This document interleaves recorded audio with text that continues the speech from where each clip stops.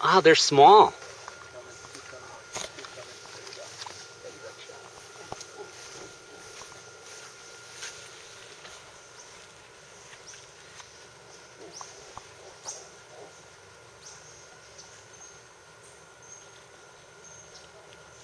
We're not doing it anymore.